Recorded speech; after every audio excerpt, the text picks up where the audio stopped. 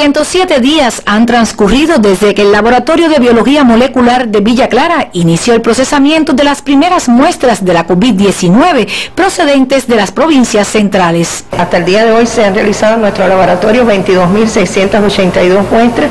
que estas corresponden a muestras que vienen de la región central del país, porque somos un laboratorio territorial con alcance desde Camagüey, Ciego, Santi Espíritu, Cienfuegos y Villa Clara.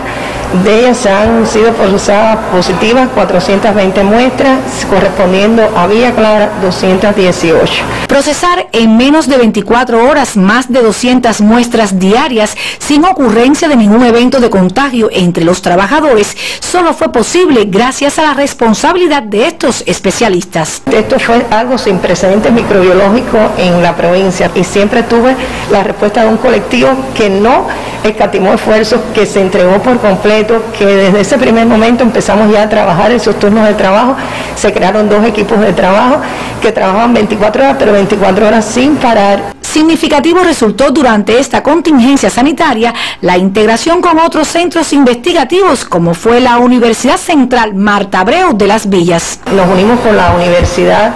de Ciencias Médicas de Villa Clara, donde eh,